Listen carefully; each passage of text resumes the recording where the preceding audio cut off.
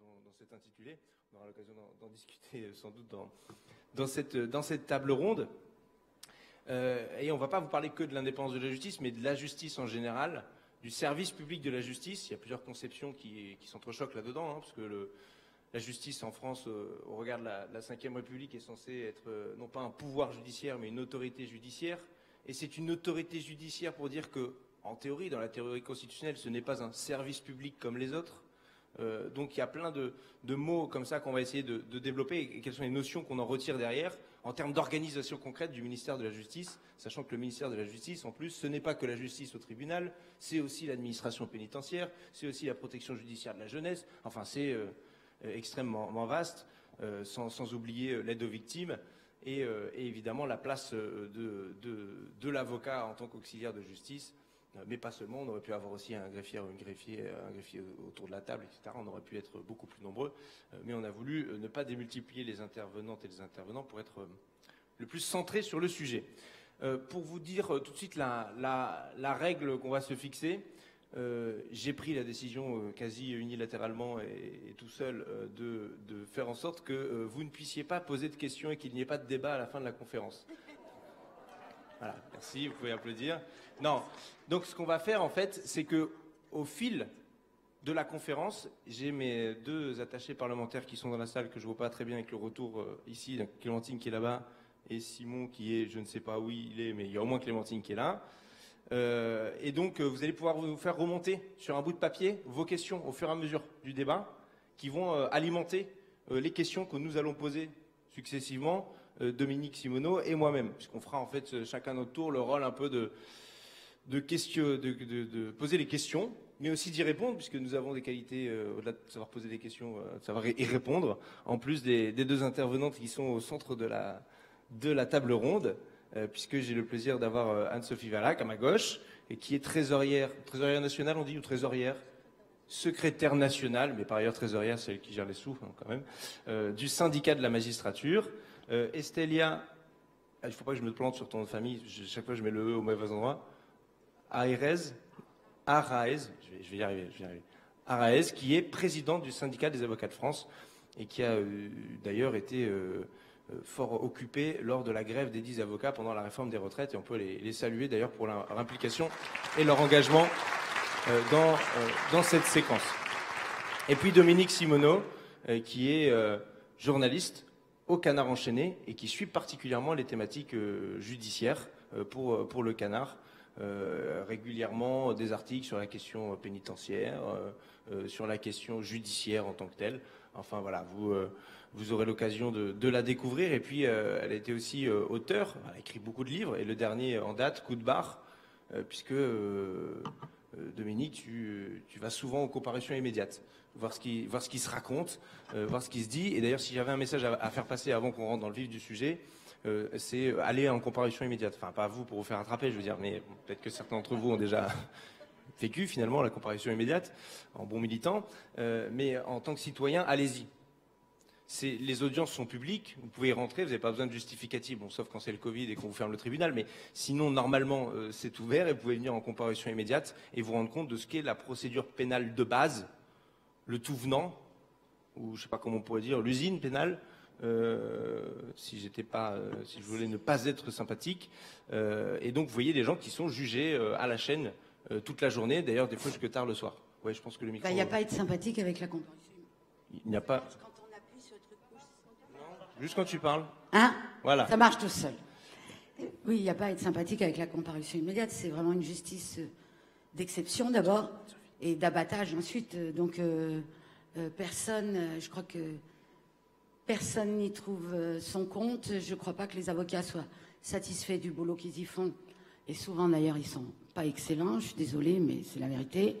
les magistrats, ils disent on prend notre tour de bête.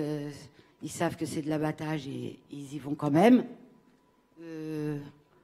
et moi, je le regrette. Et, puisqu'on pose la question de l'indépendance de la justice, je crois, enfin, dans ma réflexion, je me suis souvent demandé pourquoi les magistrats supportaient de juger, euh, de, juger des heures durant, c'est-à-dire de 13h30 jusqu'à minuit, 1h, 2h, 3h du matin, aux audiences de comparution immédiate. Parce que je ne vois pas bien dans quel état on est euh, au bout de tant d'heures à juger. Euh, D'ailleurs, ils s'embrouillent dans les noms, ils s'embrouillent dans les dossiers. à la fin, je ne vois pas comment on, On dirait on est- presque la défense d'amendement à l'Assemblée nationale, où on se plante, plus quel est Hein le bon. On dirait l'Assemblée nationale, quoi, avec des débats jusqu'à 1h du matin, on ne sait plus quel est la- la- le bon amendement, ce qu'on doit dire, etc. Oui. Alors à l'Assemblée nationale, c'est grave parce que vous décidez de lois ineptes dans ce cas-là, sans juste. doute. Mais euh, c'est très grave aussi quand le destin judiciaire, c'est-à-dire la vie de quelqu'un qui est dans le box, se joue euh, sur si peu d'éléments.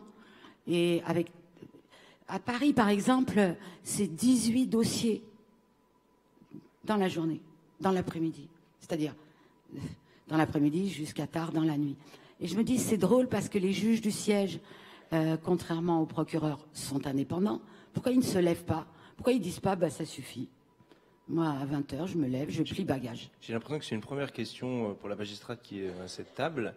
Euh, Voilà. C'est un bon point d'entrée la comparution immédiate, mais on va élargir le sujet ensuite. Mais effectivement, la comparution immédiate, c'est quand même euh, la gros de l'activité, non pas judiciaire, mais juste pénale, parce que le gros de l'activité judiciaire, ça reste du civil. On en parlera ensuite. Euh, mais comment, comment se fait-il qu'on en arrive à avoir un service public de la justice qui est pris dans une telle inertie de gérer des flux, euh, des flux judiciaires euh, et de se dire bah oui il faut passer les 18 dossiers parce que de toute façon il y en a encore 18 pour demain puis 18 pour après-demain et puis parce que sinon bah, les piles vont, vont, vont s'accumuler. Anne-Sophie, je crois que le syndicat de la magistrature est assez critique avec la, compa- la- la comparaison Oui, oui. immédiate. Alors, on est très critique avec la comparution immédiate, effectivement, sur euh, tout un tas de principes de, euh, de façon de juger, parce que les personnes, en dehors du nombre de dossiers qu'on peut avoir dans l'après-midi, les personnes sont effectivement de toute façon mal jugées, parce que je dirais peut-être de façon euh, inhérente au principe de la comparution immédiate, on ne peut pas, quand on est avocat, bien défendre quelqu'un qu'on a vu 10 minutes. Euh, enfin, peut-être tu voudras développer là-dessus, euh, Stélia, mais euh, la défense ne peut pas être correctement assurée. Les personnes ne peuvent pas rapporter les pièces justificatives dont ils ont besoin pour justifier de leur situation, etc. Donc, ils ne peuvent pas demander aux policiers d'aller entendre telle ou telle personne pour vérifier tel ou tel point, etc. Donc, de toute façon, c'est une procédure qui, est inefficace pour juger correctement les personnes. Après, ce que la question que tu soulevais, euh, Dominique, je pense a plus euh, trait à la mobilisation des magistrats. Un autre, euh, un autre point, parce que c'est vrai qu'il y a tout un tas de sujets sur lesquels euh, on devrait se mobiliser, et sur lesquels on ne se mobilise pas, et, ça interroge, effectivement.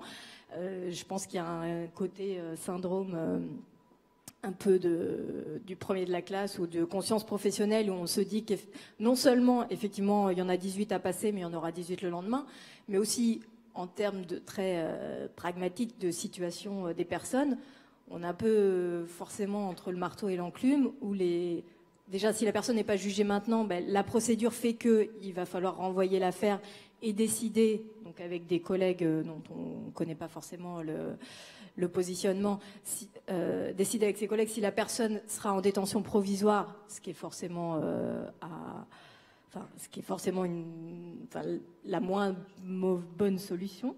Oui, c'est une lourde responsabilité. D'ailleurs, je rappelle, juste, je me permets de, de, de te couper, euh, que la détention provisoire, euh, c'est entre 40 et 50 des nombres de, du nombre de personnes qui sont détenues euh, en, euh, en maison d'arrêt. C'est-à-dire que la moitié des maisons d'arrêt, ce sont des gens, ça dépend des, des maisons Ouais. d'arrêt. Au global, on est entre 40, ça aussi, ça dépend des mois, entre 40 et 50% Il y a des maisons d'arrêt où vous avez une majorité de gens euh, qui sont des gens qui, qui sont en attente euh, de, de leur procès et qui ont été mis là parce qu'ils n'apportent pas les garanties de représentation, etc., etc., etc. Bon, donc une grande partie de la surpopulation carcérale est due à, euh, à la détention provisoire, ce qui a fait hurler tout le monde au moment du, de la pandémie, parce que quand il s'agit de, quand il s'est agi de, de vider les établissements pénitentiaires, quand la décision de, Nicole Belloubet était de dire non, tout le monde, on peut, enfin, on peut analyser la situation, pas tout le monde, mais de beaucoup de monde, sauf sauf ceux qui sont en détention provisoire, ceux-là, non, on verra plus tard, etc. Ce qui rend- rendait le truc encore plus, euh, encore plus ignoble. Bon, dans le détail, c'est pas exactement ça, mais à gros traits, c'était, le mode de fonctionnement qui a été décidé à, ce moment-là. Je te laisse.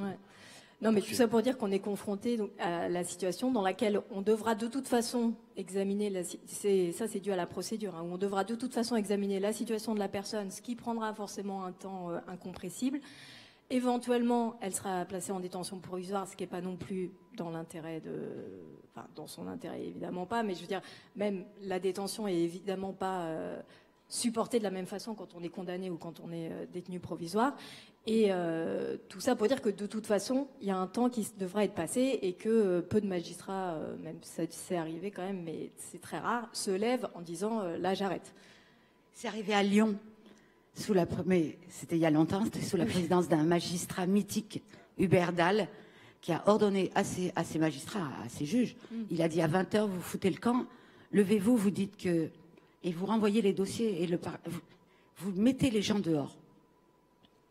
Et ils ont fait ça deux, trois jours, les, les juges. Et au bout de trois jours, le parquet a trouvé d'autres moyens de poursuite. Oui. C'est une bonne idée. Mais ça, c'est le président du tribunal. Oui, ah oui. le président du tribunal lui-même. Alors là, j'apporterai quand même une nuance dans l'idée du président qui donne des instructions, même euh, qui paraissent aller dans le bon sens, aux magistrats euh, du siège. Mais effectivement, c'est de toute. Enfin, c'est pas juste se lever et partir, c'est libérer tout le monde, et c'est ça qui fait qui fait de l'effet sur le parquet, qui, enfin en tout cas la politique pénale, qui du coup ne mettra plus 18 euh, dossiers pour une après-midi, ce qui fait nécessairement finir à des heures euh, indues et qui aggrave encore euh, le fait de mal juger. Mais encore une fois, c'est vrai que la comparaison immédiate en elle-même porte le germe d'une mauvaise justice. Les greffières, ou les greffiers d'ailleurs, ont une responsabilité aussi euh, dans, la gestion de ces audiences, parce qu'il suffirait qu'il ou elle se lève et qu'elle dise ou ils disent on se lève et on se casse, euh, pour que euh, l'audience s'arrête, puisqu'elle ne peut pas se tenir sans greffier ou sans greffière. Et donc, c'est vrai qu'en plus des magistrats, on appelle, nous, au syndicat des avocats de France, aux greffiers et greffières à arrêter de se faire maltraiter par l'institution judiciaire parce qu'ils ont des conditions de travail qui sont euh, aussi euh, euh, pénibles que celles des magistrats, voire davantage, avec des heures supplémentaires qui ne sont absolument pas réglées. Et elles et ils ont le pouvoir, je crois en tout cas, au SAF on en est convaincu, de faire en sorte que les choses s'améliorent un petit peu. Ça tient aussi un peu à eux je vais me faire l'avocat du, diable ou de Dupont-Moretti, je ne sais pas. Euh, c'est à peu près la même chose.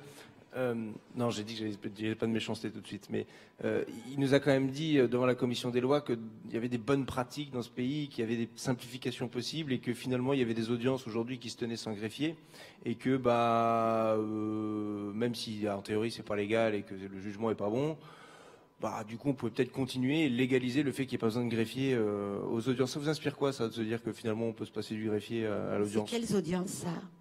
Bah, Il n'a pas précisé dans la commission des lois. Euh, euh, ça me semble euh, justement, on peut revenir à l'indépendance. Euh, l'indépendance des magistrats, elle tient aussi parce que euh, le greffier est là. Le, greffier ou la greffière, c'est pas une secrétaire, c'est le garant de la procédure. Et quand il y a un incident d'audience entre un magistrat et un avocat, par exemple, ce qui arrive relativement souvent et de plus en plus, le greffier ou la greffière note cet incident, ce qui permet, nous, ensuite, avocats, soit de se défendre quand ça a fini par des poursuites euh, disciplinaires euh, devant notre bâtonnier, à la demande parfois euh, du parquet. vous avez sans doute entendu parler dans la presse de notre confrère Nuré qui défend qui assistent les, avocats qui font l'objet de perquisitions. Donc la présence du greffier et de la greffière, que ce soit en pénal ou en civil, devant le juge des enfants, on a obtenu beaucoup de nullité de procédure en l'absence de présence du greffier ou de la greffière à une audience de cabinet euh, juge des enfants elle est indispensable. Elle est indispensable euh, non seulement pour améliorer les conditions de travail du, magistrat, mais euh, pour valider euh, la procédure, la régularité de la procédure. Et dans un état de droit, la régularité de la procédure, c'est le B à bas. Et si Monsieur le garde des s'imagine que le greffier ou la greffière ne sert à rien et qu'on peut tout à fait se passer d'elle ou d'eux, euh, je crois qu'il faut qu'ils reviennent sur les bancs de la faculté euh, très très rapidement. Surtout la prochaine fois, il faudra lui demander de quelle audience il s'agit. Je pense que c'est essentiellement en matière civile où on peut se passer plus facilement des greffiers, mais ça revient au même. Bah, c'est la même problématique. Anne-Sophie, on ne peut pas se passer non plus de greffier en matière ah civile. Toujours pas. Non, mais il y, a effectivement euh, le rôle du greffier, c'est à la fois garant de la procédure et aussi de ce qui se dit à l'audience, ce qui est indispensable en procédure orale, qui, qui existe au pénal, mais aussi au civil. Donc pour savoir ce qui se dit et ce que les parties demandent en procédure orale, il est indispensable que ça ait été noté par le greffier. Et évidemment qu'en termes de conditions de travail pour le magistrat et d'attention, c'est pas la même chose de devoir euh, suivre une audience en notant tout ce qui s'y dit que euh, lorsqu'on peut se reposer, parce que c'est le terme adapté, sur euh, les greffiers qui, font ce travail, travail parfaitement. Et je voudrais quand même revenir à ce que tu disais tout à l'heure, Estélia, sur le, mouvement qu'on pourrait initier dans la justice pour euh, contester les comparutions immédiates de façon générale et plus précisément les comparutions immédiates tardives. Euh, autant j'admets qu'on puisse reprocher aux magistrats, enfin je veux dire, je trouve ça plus acceptable de le reprocher aux magistrats qui ont notamment le président, la direction de l'audience, la présidence de l'audience et qui peuvent dire bah, maintenant stop, euh, j'estime que cette heure est trop tardive et que désormais on, va renvoyer tous les dossiers et donc décider si toutes les personnes qui restent à juger seront, euh, enfin, seront jugées une prochaine fois, oui, ça peut se décider de façon euh, unilatérale, je dirais.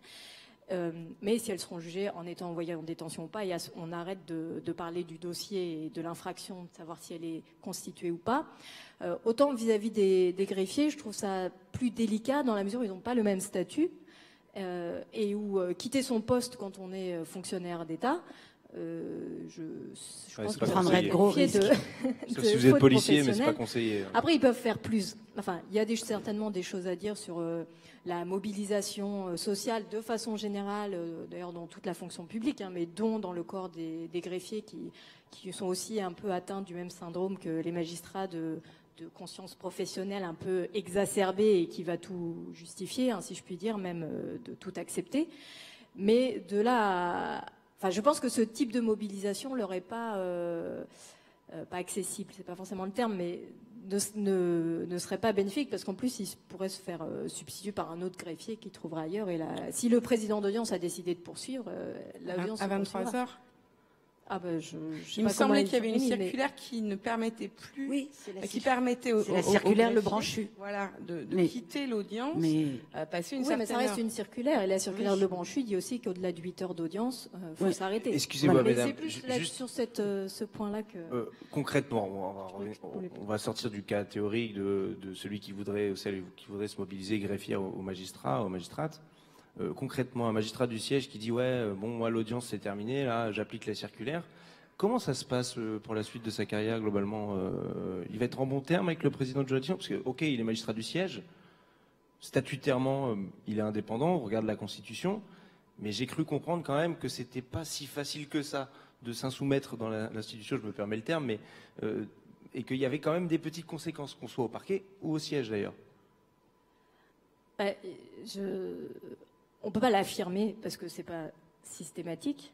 Et effectivement, euh, il y a aussi des, chefs qui peuvent être plus ou moins, euh, qui peuvent, enfin, plus ou moins euh, assumer le comportement, en tout cas ne pas y, enfin, y donner de réaction comme ça, type sanction déguisée vis-à-vis de, son collègue qui a eu une, une décision qui pourrait déplaire, entre guillemets. Euh, donc c'est difficile de l'affirmer de façon générale. Maintenant, c'est vrai que les garanties sont largement insuffisantes pour prémunir les magistrats, même les magistrats du siège, de toute euh, sanction déguisée, je dirais, euh, avec ce type d'insoumission. Du coup, on se repose pas mal sur les avocats pour la mobilisation au final, parce que c'est les seuls qui sont un peu libres. bon, ils sont, ils sont libres dans une certaine limite, c'est-à-dire de, de leur chiffre d'affaires aussi pour pouvoir vivre, manger. Euh, c'était une problématique, je crois, centrale pendant la grève. Euh, mais c'est vous, finalement, les avocats, qui avez assumé euh, aussi une partie du sale boulot de dire bah, je ne vais pas défendre quelqu'un alors qu'il devrait, il devrait quand même être défendu dans l'absolu parce que c'est la grève et avec toutes les conséquences que ça, que ça peut emporter. Et, mais vous l'avez fait quand même. comment, comment on explique que les avocats soient autant mobilisés? Alors, parfois, on, on, a effectivement pas joué notre rôle de défenseur, mais euh, parfois on, a fait ce qu'on appelle des grèves du sel, on a fait l'inverse. Et euh, les journaux sont, fait les échos, on a fait des, défenses massives. Et donc plutôt que de venir en compagnie immédiate, par exemple, à un seul avocat pour défendre un, prévenu, on est venu à trois, à quatre. Euh, en quoi c'est intéressant? Déjà, quand on réfléchit à plusieurs, on est plus intelligent. Mais surtout, vu le peu de temps imparti dans le cadre de la comparution immédiate, pour prendre connaissance du dossier, pour s'entretenir avec le prévenu dans les geôles, parce que euh, faut voir dans quelles conditions on s'entretient avec le prévenu.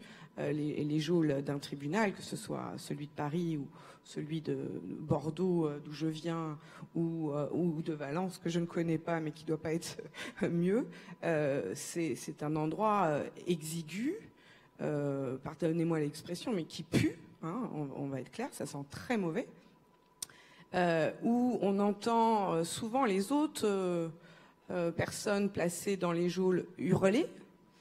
Euh, donc c'est assez hein, angoissant. On se demande euh, pourquoi ils hurlent comme ça. Donc les conditions d'entretien avec son client difficiles. C'est la première fois qu'on le voit. Généralement, il a fait l'objet d'une mesure de garde à vue de plusieurs heures, voire 48 heures. Il, il est plus très propre. Il est pas à son avantage. Il a peur ou elle a peur. Euh, donc c'est comme ça qu'on rencontre notre client pour la première fois. Et ensuite, donc il monte. euh, c'est assez intéressant d'ailleurs euh, symboliquement. Voilà, on le fait monter euh, au, tribunal. Et, donc pour revenir à la question d'Hugo, pendant le mouvement de grève contre la réforme des retraites, on a organisé des défenses massives, ce qui a permis à celui qui s'entretenait avec le client dans les geôles de passer plus de temps avec lui pour lui poser des questions sur la procédure et le déroulement des faits, ou en tout cas les faits qui lui étaient reprochés, pendant que les autres faisaient euh, l'étude euh, du dossier, que d'autres faisaient des recherches jurisprudentielles, et euh, que ensuite tout ce petit monde se réunissait pour produire une bonne défense. Une bonne défense, dans ces conditions, elle existe et on a obtenu d'excellents résultats avec des relax ou des nullités de procédure qui ont abouti à, à l'abandon des poursuites. Et euh, c'est plutôt ça qu'au SAF, on, essaye de mettre en place systématiquement. C'est pas toujours le cas, mais en tout cas, euh, là, on a trouvé un très très bon moyen et euh, de euh, casser les pieds euh, à, à, la chancellerie, parce que c'est quand même ça l'objet de la grève, c'est de bloquer l'institution judiciaire. Donc on a réussi à bloquer l'institution judiciaire, parce que évidemment, euh, trois avocats, quatre avocats qui plaident sur un même dossier, ben, ça euh, prend du temps. Et donc, il y a moins d'abattage. Donc, on a mis euh, du sable dans les rouages. On les a embêtés. Alors, on expliquait hein, systématiquement aux greffiers, aux greffières, que c'était évidemment pas pour les embêter eux personnellement, parce qu'on connaît leurs conditions de travail.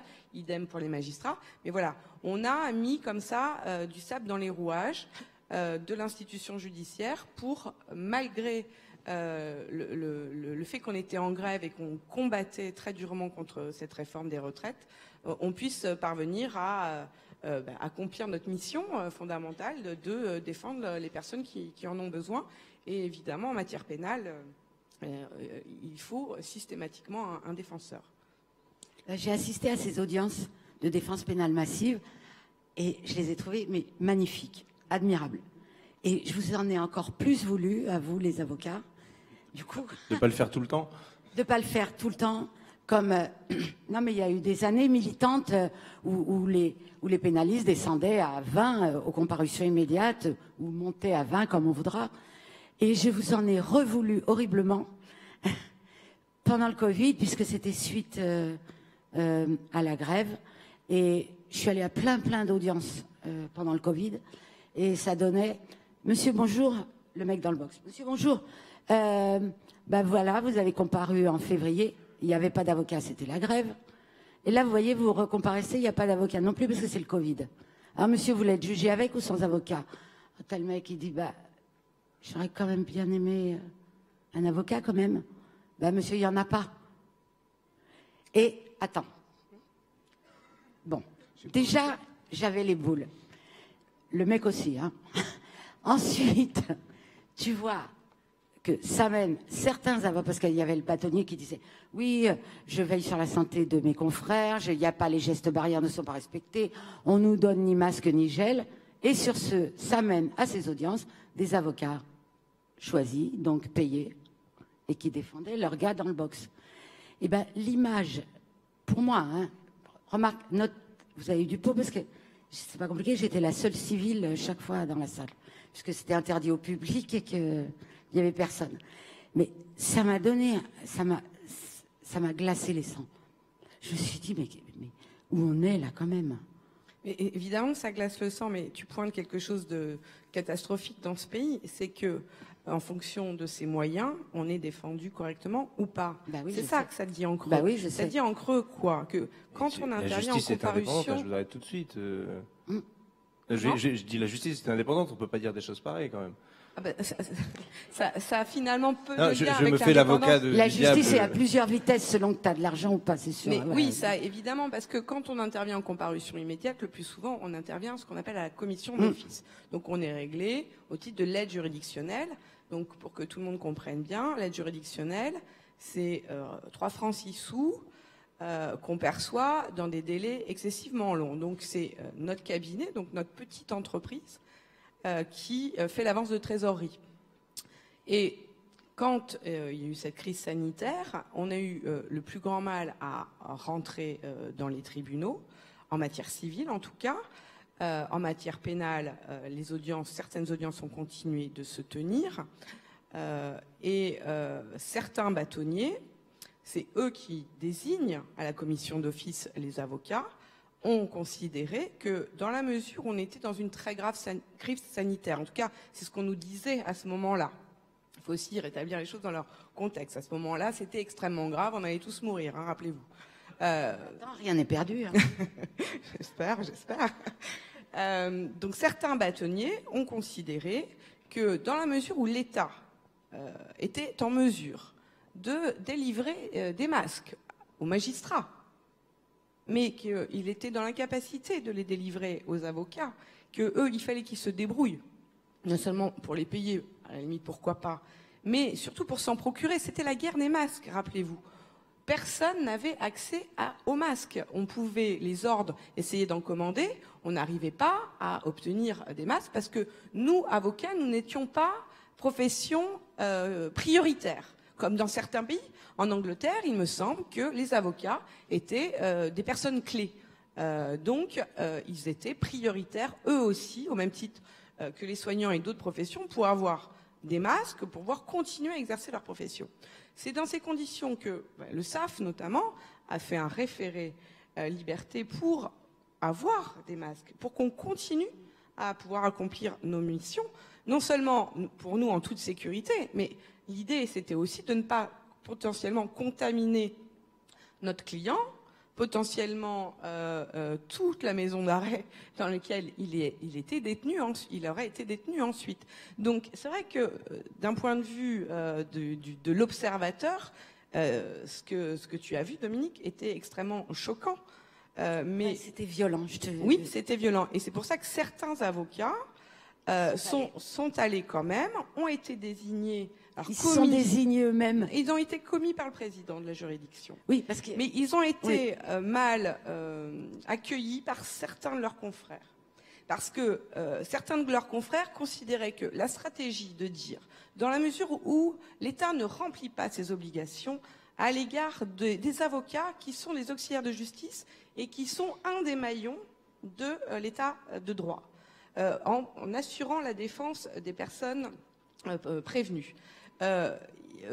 En, participant malgré tout au service public de la justice dans ces conditions, vous mettez un frein au combat militant et politique que nous menons pour que chacun d'entre nous puisse travailler dans des conditions de sécurité sanitaire adéquates. C'était ça le débat Oui. et ça a animé tous les barreaux. Bah oui, je le sais bien. Euh, je le sais bien parce que j'en ai parlé avec euh, plein d'avocats à chaque fois. On s'est engueulé, on, on s'est tombé d'accord ou je sais pas quoi. Le malheur, c'est que les seules audiences qui marchaient pendant le Covid, c'était quoi? C'était euh, les comparutions immédiates, les étrangers, euh, c'est-à-dire tous les plus démunis. Donc l'image que ça renvoyait, c'était voilà, c'était bah, ça tombe toujours sur les C'est mêmes. sûr qu'on n'a pas, pris- on n'a pas pris le risque de juger les plus puissants de ce pays pendant la- le confinement. Ah ah. Non, mais, Mais c'est- les avocats, ils seraient venus. Il n'y avait pas que comme démunis. Et tous tous ces salariés qui ont perdu leur emploi en, plein, en pleine épidémie, euh, qui n'ont pas obtenu leur bulletin de salaire et la paye équivalente, qui n'ont pas obtenu leur document de fin de contrat qui leur permettait de pouvoir aller taper à la porte de Pôle emploi, qui ont trouvé des conseils des prud'hommes fermés, des grèves fermées. Euh, eux aussi, ils étaient extrêmement démunis et nous, avocats, nous l'étions également. Donc il y a vraiment une gestion catastrophique par le ministère de euh, la crise sanitaire du Covid euh, ces derniers mois. Et là où je suis extrêmement inquiète, c'est que la rentrée judiciaire approche, que de nombreux dossiers qui ont été renvoyés pour cause de Covid ne sont toujours pas audiencés, ce qui allonge déjà les délais de la justice qui sont extrêmement longs, insupportablement longs. Et euh, donc ces dossiers, ils sont toujours dans la nature, ils sont toujours pas audiencés. Et euh, quand on parle de l'indépendance de la justice, il faut surtout aussi parler de la confiance de nos concitoyens dans la justice. Nos concitoyens n'ont plus confiance dans la justice, notamment parce qu'elle dysfonctionne à plein. Parce que, en comparution immédiate, on vient de l'évoquer, c'est de l'abattage, parce que les délais de procédure sont extrêmement longs, et qu'ils euh, ont le sentiment, et ce qui va dans le sens finalement des politiques qui ont été menées jusqu'à présent, qu'il ne vaut mieux pas saisir la justice. Et euh, c'est une, une, problématique extrêmement importante parce que en ne saisissant plus la justice, on s'oriente vers une justice privée. Et la justice privée, vous savez très bien ce que c'est. C'est la force contre le faible. C'est le fort qui l'emporte toujours. Donc il faut vraiment, il est extrêmement impératif de redonner immédiatement les moyens à cette justice de fonctionner correctement avec des magistrats qui travaillent dans de bonnes conditions, des greffes qui travaillent dans de bonnes conditions, des avocats qui acceptent de travailler à l'aide juridictionnelle, qui soient rétribués, rémunérés à la hauteur du travail qu'ils fournissent et pas simplement euh, euh, une, une pichenette qui ne permet pas de conserver l'équilibre euh, financier de leur cabinet parce que sinon tout le monde se détournera de la justice. Et l'épisode des Gilets jaunes qu'a connu notre pays en est un exemple.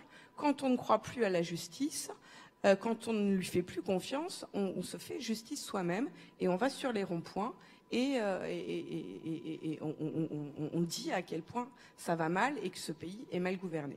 Je, me permets de rappeler, si vous avez des questions, si ça vous évoque des choses, vous mettez sur un petit bout de papier, vous l'agitez et on viendra le chercher pour... Euh déjà quelques-uns, eh ben, euh, tu peux les poser sur le bord, comme ça j'irai les chercher discrètement. Enfin, ça va pas être très discret, mais euh, quand, je ne serai pas en train de parler. Euh, je me permets de, rebondir sur la question du coup des moyens, des moyens budgétaires, parce que pour raconter un peu les choses, d'ailleurs les, journalistes m'ont posé la question. Euh, alors, au fait, dans votre commission d'enquête, comment ça se passe? Votre rapporteur, il est quand même de la République en marche. Bah oui, je les croise très souvent, malheureusement. Donc c'est comme ça à l'Assemblée. Mais il dit, mais comment vous avez fait? Ça s'est bien passé avec lui, etc. Je rentre pas dans le détail euh, humainement comment c'est, on s'en fiche, c'est pas le sujet. Euh, mais on a eu un point de désaccord dès le début, quand on a euh, mis sur pied la commission d'enquête. On voulait traiter plusieurs thématiques connexes à l'indépendance de, la justice. Il y avait la question statutaire, du statut du magistrat, qui semble centrale et évidente quand on veut parler d'indépendance. Il y avait la question d'indépendance vis-à-vis de l'exécutif, du pouvoir exécutif, de la politique. Euh, ça semble aussi euh, évident. L'indépendance vis-à-vis des, des, médias, des pressions médiatiques qui peuvent venir de l'extérieur ou des fuites qui peuvent y avoir, euh, fuites judiciaires, qui, peuvent interférer avec l'indépendance. Et puis on avait mis un autre élément qui était la question budgétaire. On a dit, bah, il y a un problème, le budget, il y, a un lien, une problématique entre le budget et l'indépendance. Et mon rapporteur, donc Didier Paris, de La République En Marche, était convaincu que c'était hors sujet. Il pouvait y avoir un sujet sur le budget, je veux dire, on pouvait, oui, il y avait un problème, il n'y a pas assez de moyens, tout le monde se plaint, comme hein, les fonctionnaires, puis les magistrats sont toujours en train de dire, pas de moyens, pas de moyens, bon, ça va, quoi, ça a cinq minutes, euh, mais c'est pas, mais rien à voir avec l'indépendance. Voilà, c'est ça la tonalité euh, de l'explication, en disant l'indépendance, c'est la capacité du magistrat, euh, dans, dans, dans, son, dans sa tête, en son âme et conscience, de ne pas avoir de, de pression euh, de l'extérieur. Euh, et puis finalement, il s'est laissé convaincre au fil des auditions, parce qu'il a quand même insisté pour que ce soit une thématique. D'ailleurs, même sans insister, beaucoup de magistrats en ont parlé de, par eux-mêmes, euh, pour pas dire la quasi-totalité. Euh, Anne-Sophie, euh, est-ce que tu peux expliquer concrètement euh, quel est le lien entre la question budgétaire et celle de l'indépendance de la justice et des magistrats? Le lien, il vient du fait que l'indépendance euh, de la justice, elle tient au statut effectivement des magistrats, mais aussi aux, moyens au sens très large qu'il a pour euh, travailler sereinement. et, de ne pas subir de la pression du stock et du flux euh, pour pouvoir rendre une décision, une, rendre une décision correcte. Parmi les réformes qui ont eu lieu le plus récemment, il y en a tout un tas qui visent notamment à, enfin, qui baissent ces moyens euh, les moyens qui sont euh, accordés à la justice et notamment et qui aussi ça paraît juste de la procédure mais finalement ça a trait aussi aux moyens qui réduisent notamment la collégialité. La collégialité c'est le fait de juger à plusieurs plutôt que tout seul. Et ça comme le disait euh, là tout à l'heure, c'est vrai que comme partout à plusieurs on réfléchit mieux que tout seul. Et euh, l'autre intérêt de la collégialité c'est que c'est une forme de protection et que le magistrat quand il juge et quand il est tout seul, il peut plus facilement être la cible d'attaque sur euh, tel ou tel euh, point euh, personnel ou de ses activités antérieures ou de ses relations ou quoi ou qu'est-ce, qui euh, viendrait entamer son impartialité d'ailleurs plutôt que son indépendance, mais ça a lien avec tout ça parce que évidemment, euh, on va dire qu'il n'est pas indépendant si euh, il, y a un lien qui peut être fait d'une façon ou d'une autre avec l'exécutif par exemple, et là on a on touche à l'indépendance. Et donc si le budget est tellement réduit que pour gérer les stocks, on est obligé, enfin on est obligé, on dit qu'il faut, on, utilise comme solution de réduire la collégialité, c'est-à-dire que trois juges ne font plus euh, une audience, donc de, imaginons 10 dossiers, mais du coup, ça démultiplie, ça permet de faire 30 dossiers en une après-midi au lieu de 10 à 3. Euh, forcément, on peut imaginer que cette gestion des stocks sera, et des flux sera plus efficace. Or, c'est pas le cas parce que, euh, comme j'ai dit, il y a un affaiblissement de la décision pour les, pour les magistrats, un délitement de la qualité de la décision rendue. Et donc, tout ça fait, constitue aussi une atteinte à l'indépendance de la justice en général. Donc le lien, il peut être là aussi. Et, si on regarde par exemple sur la phase d'enquête ou d'instruction euh, et même les moyens qu'on peut se donner en matière civile pour essayer de creuser, de peser le pour et le contre, euh, du coup, est-ce que, est que, le budget, il n'entame pas directement, là tout de suite, immédiatement, la capacité du magistrat à, à se forger un avis? À, récolter des éléments pour se forger un avis. Un avis, je pense, par exemple aux, frais d'expertise, euh, je pense euh, par exemple euh, aux, aux, interprètes, aux interprètes, etc. Toutes ces petites choses. on dit, c'est l'indépendance, pas trop le sujet majeur. Est-ce que tout ça, ça concourt pas directement Est-ce que le magistrat, à la fin, bah, pour une enquête, il ne fasse bah, qu'à charge, parce que le temps qu'il passera pas à faire à décharge, bah, il pourra faire un autre dossier oui, j'ai posé plusieurs euh. questions, je concède. Euh, alors, c'est vrai que là, la première partie de ma réponse, ça concernait l'audience. Donc, le dossier est déjà fini. Si on réfléchit euh, enquête, donc parquet ou juge d'instruction, c'est vrai que la question des moyens, elle, donc elle se pose pas forcément en termes de budget direct, parce que le, juge d'instruction qui qui, ordonnera une expertise, bah, il, l'ordonnera et le budget, il en sera pas. Enfin, c'est pas ça qui fera qu'il aura euh, ou non. Euh, euh, comment dire que l'expertise sera effectuée ou non. Après, c'est vrai que le manque de budget peut faire que les, les experts sont pas payés ou très tard et donc arrêtent de vouloir être experts devant les tribunaux judiciaires, donc il y en a moins. Donc effectivement, tout ça fait que du coup, on, on sera peut-être plus réticent à ordonner une expertise. Donc le lien est un peu plus euh, étendu et moins direct que ce que tu disais euh, dans la question. Euh, donc il y a ce point-là. Pour les, interprètes, c'est un peu la même chose. S'il n'y a, qu'un interprète dans une langue donnée et qui doit enchaîner les, audiences, etc., bah forcément, il sera moins efficace et ça atteindra la qualité de la décision rendue et de, de la défense et de la représentation de la personne qui est interrogée ou qui, qui, sera, qui est mise en cause dans une, dans une affaire. Et encore, ça, c'est quand par chance, l'interprète parle la langue qui lui est demandée. Non, parce que il y a des anecdotes? Je sens qu'il y a une anecdote. Ah, mais j'en ai plein, mais après on en parlera. oui, effectivement, on peut euh, être tenté, mais alors c'est un peu là pour le coup, on rejoint la question de, de la justice à, à deux vitesses, parce que si la personne, encore ça atteint la procédure normalement quand, bah euh, énormément. quand la personne n'est pas assistée d'un interprète dans la langue qui convient. Eh ben, écoute, là, dernièrement, à Boulogne-sur-Mer, le tribunal a remis en, liberté deux personnes qui étaient soupçonnées d'être des passeurs, d'avoir fait passer des migrants, parce que c'était deux chauffeurs polonais et on leur a collé comme interprète une croate et une tchèque qui parlait pas un mot de polonais et tout. Et c'est l'avocat qui, étant d'origine polonaise, entend une des interprètes dire, je sais pas, dit non mais oh oh, ça va pas du tout. Et il a obtenu euh, la mise en liberté des, deux mecs. Et après, j'ai appelé euh, le tribunal de Boulogne pour savoir ce qui était arrivé avec ces interprètes, mais personne ne m'a répondu rien du tout. Et, des anecdotes comme ça, j'en ai énormément, parce que c'est, en ce moment, il y a une pétition qui circule justement pour qu'il y ait de meilleurs interprètes et que surtout les, compétences soient vérifiées. C'est là les flics, ils vont, ils vont chercher des, interprètes de façon assez folklorique, je peux dire. Et, sur l'application des peines, par exemple je, me souviens d'une audition de la commission des lois de, la, présidente de l'Association nationale des juges d'application des peines qui nous expliquait qu'il y avait des magistrats qui pouvaient prendre des décisions de placer euh, le mineur en, en, détention parce que finalement la, la, le, la structure qui aurait été plus adaptée, euh, euh, le centre éducatif, euh, éventuellement le CEF, même si je suis pas fan des CEF. Tu parles des juges de l'enfant. Ouais, ouais. Ah. et ben que finalement il prenait la prison parce qu'il n'y avait rien d'autre, quoi, et qu'il manquait de moyens sur toutes les autres, tous les autres dispositifs, et qu'on en vient à l'application des peines régulièrement à, ne, à, ne, à faire le choix de la prison par défaut euh, par manque de moyens, en se disant, ben, je sais pas s'il y a une structure, je sais pas s'il y a, du travail d'intérêt général de disponible, je sais pas euh, s'il y a une association qui est capable de faire la réinsertion, etc. Donc du coup, bon bah, bah je vais le mettre en prison, quoi. Euh, oui, alors ça c'est vrai effectivement au niveau de la justice des mineurs.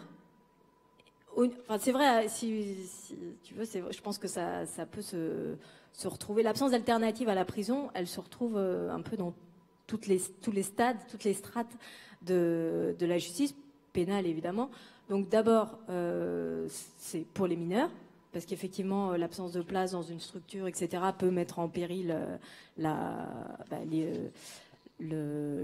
l'éducatif qui doit primer sur le répressif. Jusqu'à présent, c'est toujours le cas.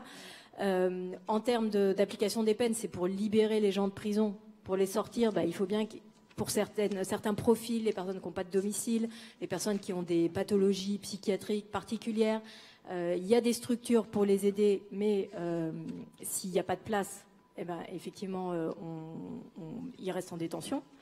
Donc, et tout ça, c'est effectivement une question de moyens, parce que construire plus de place, avoir plus d'éducateurs, avoir plus de, de, enfin, ce sont des moyens alloués à l'institution judiciaire aussi. Oui, donc ça conditionne finalement le, alors c'est vrai que du coup, on n'a plus de. Oui, le choix est, réduit et c'est pas ce qui est écrit dans, dans la loi. les magistrats finissent par prendre des décisions pragmatiques hein, et, jugent des enfants. Euh, malheureusement, quand euh, la totalité des foyers euh, sont pleins et que personne veut prendre le mineur, ou parce que le foyer, est-ce qu'on le voit de plus en plus, hein, le foyer euh, ne veut plus du mineur parce que ça se passe euh, pas comme euh, ça devrait, parce que le temps d'adaptation du mineur dans un foyer, il, est long. parce que parfois, évidemment, et dans la plupart des cas, il est quand même pas content d'être placé, même si ça se passe mal à la maison. au moins, il avait sa chambre à peu près, ou en tout cas un endroit à lui. Là, il se retrouve dans un foyer avec une collectivité, avec d'autres mineurs ont des problématiques euh, assez importantes, qui sont les mêmes que lui ou, d'autres encore. Et donc voilà, il y, a, un phénomène d'adaptation qui est un peu long et lent. Et, euh, parfois, ben, du coup, la structure, euh, parce que le mineur pose des difficultés, dit nous, nous on n'en veut plus on n'en veut plus, donc on ressaisit le juge des enfants, et puis il faut le placer ailleurs. Sauf qu'il n'y a pas de place ailleurs. Et donc on se retrouve comme ça à faire des propositions euh, aux mineurs, que ce soit en assistance éducative, mais comme en, matière de, mineurs délinquants, à faire des propositions d'accompagnement du mineur qui sont absolument pas adaptées ni à son profil, ni à ses personnalités, ni même à ses choix. Euh, alors professionnel, c'est un peu tôt pour le dire, mais ses choix d'orientation scolaire, par exemple, parce qu'il n'y a pas, euh, a pas de structure en nombre suffisant, il n'y a pas suffisamment d'éducateurs spécialisés, et, euh, et voilà. Et donc, au final, on aboutit à quoi? Souvent à ce que d'autres actes de délinquants soient posés, et puis euh, c'est le cercle infernal de, la récidive. Et puis, on sait très bien que quand on arrive devant un juge avec euh, plusieurs condamnations antérieures, euh, on fait évidemment moins bel effet que la première fois, que le juge y finit par plus faire confiance et que ben, la sanction elle devient de plus en plus sévère. Et donc c'est vraiment un cercle vicieux. Et si on veut réellement lutter contre la récidive dans ce pays, euh, et, vraiment réfléchir à une, vraie politique d'alternative à, la prison, ben, il va falloir non seulement se mettre tous autour de la table avec ceux qui sachent, comme on dit sur Twitter, avec ceux qui savent, pour ceux qui ne sont pas sur Twitter, et, euh, et, puis surtout ben, qu'on ouvre le porte-monnaie. Il n'y a pas d'autre solution. Il paraît que le budget n'a jamais été aussi élevé, que c'est génial, euh, qu'il y a une loi de programmation de la justice, etc. Mais comment ça se fait que vous continuez de vous plaindre?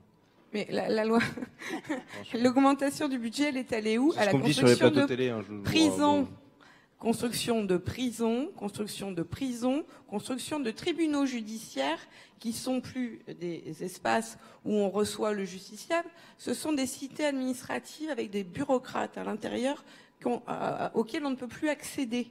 Euh, voilà, on ne peut plus circuler dans les palais de justice.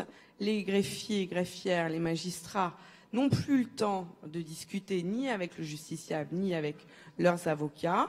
Il y a des portes partout, des codes, des digicodes. Euh, voilà, on ne peut plus se voir, on ne peut plus se parler, et tout ça, ça coûte un pognon de dingue. Euh, euh, voilà. Et, donc l'architecture des tribunaux judiciaires et aussi des, établissements pénitentiaires est à revoir de fond en comble. Et voilà où est passée l'augmentation du budget de l'État. Oui, la loi de programmation, euh, pas de l'État, de la justice, euh, oui, la loi de programmation a augmenté euh, le budget alloué à la justice. Mais il est surtout allé à la construction de nouvelles prisons et à la construction de nouveaux tribunaux judiciaires impossibles à fréquenter. Le tribunal de Paris, par exemple, il coûte 350 000 euros jour de remboursement d'intérêts à Bouygues. Quand, quand je serai grand, je ferai gestionnaire de partenariat public-privé. Oui. C'est le plus beau métier du monde. Pendant 47 ans, je pense touchez votre chèque tous les jours. Ils sont en train d'en. Je pense que ça commence à quand même à, à réfléchir à ne bah, plus faire ça. On a fait, on a fait des tas d'amendements, demander des, demander des rapports, des annulations, des révisions euh, du partenariat public-privé qui constitue le, tribunal judiciaire de, de Paris. Et à chaque fois, on lui dit oui, mais attendez, en fait, dénoncer le partenariat public-privé, ça nous coûterait finalement plus cher parce qu'il faudrait indemniser euh, le, celui qui est, pour qui on s'est engagé. Mais c'est, euh, c'est comme les tribunaux, euh, les tribunaux internationaux là, qui, qui mettent en cause les États parce qu'on a changé la législation et donc du coup, il faudrait les indemniser. on est dans, exactement dans la même logique. Et donc, le moment venu, oui, il faudra peut-être faire une loi pour, bah, pour les spolier un petit peu, ouais, ceux-là, pour leur dire, bah ouais, vous n'allez pas faire une plus-value de 150% sur le bâtiment. On veut bien vous en laisser 10% histoire que vous ayez un peu de quoi acheter des mouchoirs, mais pas plus, quoi, parce que parce qu'on n'a pas les moyens, quoi, de se payer des riches. Euh. Mais le Covid, ça a été une chance aussi, euh, la chance de vider les prisons. Et ce qu'il faudrait, c'est que on en reste là, qu'elles ne recommencent pas à se remplir euh, à toute blinde. C'est déjà commencé d'ailleurs. c'est mal barré. Mm. Bah, c'est mal barré. faudrait reconfiner peut-être. Ah. faudrait peut-être un reconfinement, je sais pas. Bah, je l'espère. Ok, ok, non, c'était une blague. Euh, on va pas le souhaiter, mais bon. Non, mais c'est vrai que c'est un grand sujet. Alors, je, propose qu'on ne dérive pas trop sur la question pénitentiaire, euh, et je vais faire en sorte que les gens puissent regarder le live de l'année dernière. Euh, on a fait une conférence sur la désistance qui était très intéressante, sur la sortie de la, la, récidive et des parcours de délinquance, et, et recentré sur la, la question de l'indépendance, qu'on a pris sous un prisme euh, par en bas finalement, là, depuis le début, avec la comparution immédiate, euh, la justice pénale, même le civil, euh, les délais d'audience, le fait qu'on n'ait pas d'avocat, l'aide juridictionnelle. et c'est bien parce que c'est bien de commencer par là, parce que souvent ce qu'on met en, en, avant dans les questions d'indépendance, ça va être les affaires politico-financières les plus visibles, comme, comme chacun sait. mais cette thématique-là, elle n'est pas non plus inexistante, pour le dire. Vous avez vu euh, toutes les trois que dans la commission d'enquête, on a eu le témoignage de, la procureure du l'ex-procureure nationale financière Eliane Houlette, euh, qui nous expliquait les pressions qu'elle avait subies de sa hiérarchie directe, euh, la procureure générale Jean Renault, dans l'affaire Fillon. Bon, des pressions légales. Je n'ai pas dit que c'était illégal, moi, madame. Non. dit, hein. Non, mais c'est- bien de le dire parce que c'est pas une pression, c'est une pression légale. C'est comme prendre les fadettes des avocats, des magistrats, Mais de l'instruction de- du pôle d'instruction de Paris, fois du parquet national financier, etc. Vous savez, c'est l'histoire de fadettes dans l'affaire, euh, euh, c'était dans l'affaire Paul Bismuth, euh, ou Big Malion, ou les deux à la fois. Enfin, c'est un- non, c'est C'est bismuth. Paul. c'est ouais, Paul. C'est Polo. En plus, je, je, bon, je ferai peut-être une imitation si vous êtes sage tout à l'heure, mais. Donc, euh, euh, il y a eu tout un pataquès sur le fait qu'on avait pris les fadettes, les relevés téléphoniques euh, des avocats, mais pas seulement en fait, parce qu'il se trouve que le- les relevés téléphoniques d'Eliane Houlette aussi elles-mêmes sont dans la procédure. Et de tous les magistrats du pôle financier. Y a certains Renaud Van Ruynbeck qui n'étaient pas contents aussi, euh, par exemple. Et donc, ça faisait, ça faisait mauvais genre. On, on cherchait à ce moment-là quelle était la top, euh, l'informateur au sein de la magistrature euh, de, Nicolas Sarkozy. Ce qui pose des tas de questions. On se dit, ah bon, il y a des informateurs de Nicolas Sarkozy dans la magistrature, il y a des magistrats qui renseignent donc des, personnalités politiques. Je veux dire qu'on ne va pas beaucoup renseigner, donc euh, voilà, mais c'est peut-être le cas pour tout le monde. Et, on se dit, si on, voit ce qui se passe avec les pressions hiérarchiques, le fait que légal, certes, mais les remontées d'informations, le procès Urvoas qu'on a eu avec euh, le fait que les informations ont été utilisées au profit de Thierry Solaire, vous savez, il, avait- il eu des informations sur les procédures, il a donné à un copain, bon, voilà, Il a été condamné. et il a été condamné. Donc ça marche bien quand même le contre-pouvoir. Ah bah lui, il s'est fait attraper. Puis, mais lui, bon, il a mangé pour les autres, hein, parce que qu'est-ce Ah. qu'est-ce qu'il a pris Il a mangé, il a pris combien? Non, bah, oui, mais il a pris combien? La question n'est pas de combien il a pris, la question est que il est foutu. Il fera pas carrière, euh, sa carrière politique s'est terminée, et lui qui avait fait ça, je crois, enfin c'est ce qu'on pense, c'est pour être investi par la République en marche, euh, bah voilà, c'est terminé. Donc euh, C'est pour ça qu'il faut faire de la politique proprement. ah bah ça, on est, oui. Bon, alors, mais du coup, Non, parce non, que, je trouve qu'il faut en faire salement, moi. mais la question se pose de manière euh, maintenant un peu plus précise sur la question de l'indépendance de la justice et de l'indépendance des magistrats eux-mêmes, leur impartialité et le fait qu'ils les capacités qu'ils ont de résister aux pressions. Est-ce qu'aujourd'hui on a toutes les garanties suffisantes euh, pour que les magistrats puissent résister aux pressions? Je ne dis pas pour qu'il n'y ait plus de pression, parce que des pressions il y en aura toujours. Évidemment qu'il y a des gens qui seront tentés de faire pression sur la, magistrature ou sur les magistrats, mais pour qu'ils aient les moyens d'y résister. Est-ce qu'on a tout, ce qu'il nous faut dans l'arsenal? Je, je suis tenté de, de dire non, parce que je ne vous ai pas parlé non plus de Michel Mass, mais, mais, mais bon, je- Euh, bah, en réalité, les, comme euh, l'a relevé Dominique, le problème, c'est que effectivement, ces pressions sont tout à fait légales et que les personnels politiques au pouvoir qui ont les moyens de y mettre fin ne le font pas parce qu'ils se disent qu'ils vont peut-être avoir besoin d'en profiter à un moment ou à un autre de leur euh, de leur carrière ou de leur mandat et donc euh, ne vont surtout pas mettre fin aux remontées d'informations ou aux rapports euh, sur les dossiers signalés, particulièrement signalés, qui sont suivis au parquet national financier ou dans un autre parquet d'ailleurs. Donc ça, c'est la difficulté. Après, effectivement, les sont aussi des pressions légales, mais qui consistaient en des, je sais plus si c'était vrai, des demandes, mais elles devaient faire des rapports tout le temps. Et ça constitue effectivement une forme de pression, mais qui est incluse dans le package, je dirais, quand euh, elle devient euh, procureur. Donc ça, effectivement, il faut changer. Nous, ce qu'on demande, c'est qu'il n'y ait plus de dossiers signalés, qu'il y ait plus, enfin, ou en tout cas un encadrement très strict des remontées d'informations, parce que euh, on peut imaginer qu'il y ait certains cadres, etc., ou certaines prérogatives de garde des sceaux qui puissent les justifier, mais bon, on ne va pas rentrer dans ce détail-là. En tout cas, ça peut plus demeurer de la façon euh, dans laquelle ça fonctionne actuellement. C'est sûr. Maintenant, il y a quand même eu la fin des instructions individuelles, ce qui était déjà au- aussi un grand pas parce que euh, cette pression, elle était euh, effectivement générale. Est-ce que le magistrat a les moyens d'y résister Là, après, on retombe dans la, on va dire, la, situation individuelle et c'est pas vraiment la question. C'est pas comme ça qu'on va changer les choses en renforçant euh, psychologiquement le magistrat pour résister à la pression. C'est pas le problème. Le problème, c'est que il y ait tous ces dossiers signalés qui puissent donner lieu à des rapports. Il y a un autre problème, je trouve. Parce que moi, j'avais été très convaincue par Christiane Taubira à ta commission euh, sur les remontées d'informations. Elle disait la solution sympathique euh, qui fera plaisir à tout le monde, c'est de dire on arrête la remontée d'informations. Mais le garde des Sceaux, il doit être informé de certaines situations parce qu'il n'a pas à rester euh, baba et à apprendre par la presse que telle personne. Enfin bon, ça, c'est vrai que tout ça se discute. Et ça se discute pour moi d'autant plus que la remontée d'informations véritable, elle vient en fait des flics vers le ministre de l'Intérieur, qui lui sait tout en temps réel, bien avant le garde des Sceaux. Et C'est vrai, ça? Et, bah, et sans encadrement. Vous, vous avez des exemples, des anecdotes, des trucs Vous n'êtes pas, Ah, pas obligé moi, de donner moi, des noms, avocat mais de province, euh, j'ai pas ce genre de remontée, mais sans doute que des avocats parisiens en, en- en auraient. Mais euh, des déjà, je grands avocats parisiens, par exemple non? Il n'y a pas de grands des avocats, il y a que des Non, avocats. ténor, on dit chez vous, c'est ça? Ouais. Bon, je ne ferai pas de commentaires sur le dernier ténor qui a, eu une promotion récemment. Euh, passons. Euh, oui, non, il faut quand même bien distinguer pour que euh, nos auditeurs comprennent euh, il faut distinguer les avocats du siège et les avocats, les magistrats du siège et les magistrats du parquet, parce qu'il y a une subordination hiérarchique euh, pour les, magistrats du parquet, pardon, et donc c'est dans ce cadre-là qu'il y a une remontée d'informations qui est prévue par la loi. La difficulté, euh, à mon sens, c'est pas trop euh, la possibilité de faire des au, ministre de, de- de demander des remontées d'informations ou que certains parquetiers les fassent remonter sans qu'on leur demande rien parce que euh, ils, veulent plaire à leur hiérarchie ou, ils pensent que c'est ce qu'on attend d'eux.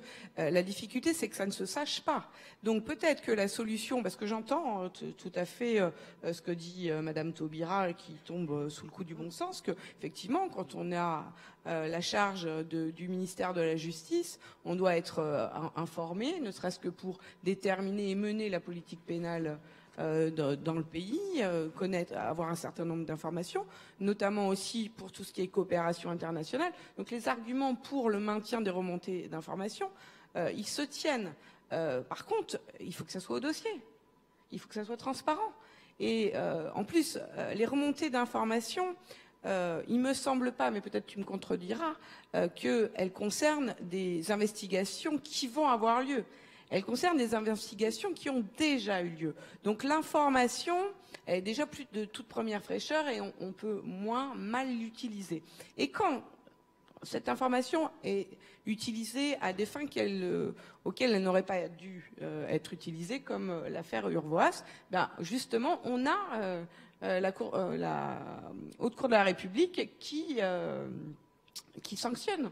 Mais encore faut-il le savoir, parce que là, c'est quand même un, Et- et c'est là- un coup de bol ou un coup de malchance, ça dépend quel, de quel, dans quel euh, Mais non, mais là, c'est bravo les journalistes. Non, mais c'est Parce parce que- que... Thierry Solaire, lors d'une perquisition, s'est fait perquisitionner son donc il y avait son téléphone et que quand ils ont vu ces messages dans son téléphone, ils ont vu des messages d'un certain Jean-Jacques Urvoas sur une messagerie cryptée qui s'appelle Il faut dire Telegram qu'on utilise pas tous tous. les jours euh, l'occasion, quand on est ministre, de filer des infos euh, sur la messagerie Telegram à un crétin euh, qui, qui les efface pas. Euh, Ça, je dois dire que faut quand même Bon, être ça me fait penser à un certain. Squarcini qui, euh, tranquillement au téléphone, par exemple, nous explique euh, des tas de choses.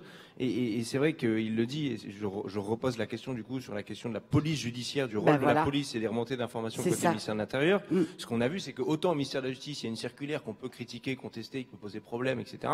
Autant au ministère de l'Intérieur, il n'y a même pas une circulaire pour dire comment ça se passe. Open et- ce cher Bernard Squarcini nous explique dans les, non pas dans son audition, parce que je l'ai pas auditionné, mais dans, dans les écoutes qui ont été euh, publiées sur, euh, sur Mediapart, euh, que, euh, évidemment, parce qu'il parle à un moment donné de l'affaire Cahuzac, euh, il discute avec l'ancien DCPJ, directeur central de la police judiciaire, qui s'appelle Frédéric Vaux, qui est l'actuel directeur général de la police nationale. Euh, bon, bizarre. Euh, ils, ils discutent au téléphone euh, tous les deux. Il dit, bah, euh, il deal des trucs sur, avec, un- par le biais d'un mafieux corse. Et puis il explique évidemment que la PJ fait des remontées d'informations administratives sur les enquêtes en cours. Ils appellent ça administratif parce que, c'est-à-dire, en gros, c'est pas que c'est pas que c'est de l'information administrative, c'est pas vrai. C'est de l'information judiciaire. Ils l'appellent administratif parce que c'est non versé au dossier judiciaire et que c'est remonté sur une feuille de papier par la voie hiérarchique administrative, c'est-à-dire jusqu'au ministre. C'est ça la, la, la Mais c'est vrai qu'on se focalise beaucoup sur les remontées d'informations au garde des Sceaux, alors qu'en fait, le véritable détenteur de toutes les remontées d'informations en temps réel, c'est le ministre de l'Intérieur. Enfin, je sais pas ce que tu en penses. Ouais, je dirais que pour, euh, pour contourner euh, l'obstacle euh, que tu as évoqué, c'est-à-dire que le ministre de la Justice soit aussi bien informé, si j'ai bien compris, que le ministre de l'Intérieur, nous, ce qu'on demande, c'est que la police judiciaire soit rattachée Eh ben, au voilà. ministère de la Justice. Comme ça, il n'y aura plus de difficultés et ça permettra aussi aux magistrats du parquet qui dirigent l'enquête d'avoir des officiers de police judiciaire qui ne sont pas rattachés à un autre ministère et sur lesquels euh, leur euh, autorité peut réellement s'exercer. Et on n'aura plus cette question, ce qui permettra de, enfin cette question euh, d'égalité de niveau d'information au plus haut lieu, et on pourra envisager beaucoup plus sérieusement de les réduire. Non, mais au fond, c'est ça à quoi pour le ministre qu'il ait toutes ces informations, si ce n'est le mettre mal à l'aise au cas où il, ça lui prendrait de les divulguer? Bah, parce que c'est ça la problématique. Je vous prends l'exemple de la question au gouvernement que j'ai posée à Nicole Belloubet. J'ai commencé en intro en disant, euh, voilà, j'ai appris dans ma commission d'enquête que les, les, les remontées d'informations servaient notamment parce que vous êtes responsable de la politique pénale, responsable devant qui L'Assemblée nationale et le Sénat, enfin devant le Parlement, et que donc ces remontées d'informations euh, devaient vous servir à pouvoir répondre aux questions éventuelles des députés aux questions au gouvernement. Bon, c'est bien, on est dans ce cas de figure-là, on est aux questions au gouvernement, je suis député, je vous pose une question. Donc là, on est, on est dans les clous. Et je lui dis d'ailleurs, bon voilà, euh, comment ça se passe pour Alexis Kohler? Par exemple, hein, sur le, dossier de, MSC, euh, puisque c'est une affaire euh, sensible, signalée, hein, ça fait partie des affaires signalées pour lesquelles il y a des remontées d'informations. Donc qu'est-ce que vous pouvez nous en dire, hein, vu qu'on rentre dans, ce cadre-là?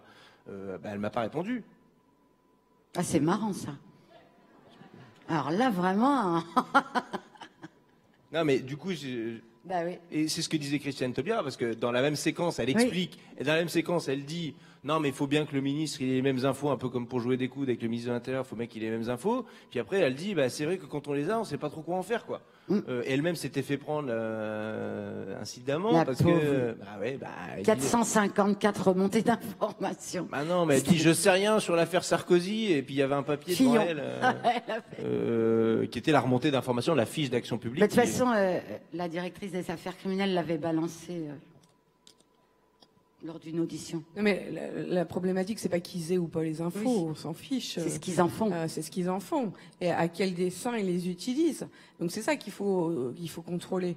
Et a priori, euh, grâce notamment au travail des journalistes, on arrive à avoir, euh, à savoir que des infos qui n'auraient pas dû circuler circulent. Et quand les personnes se font attraper, elles sont sanctionnées.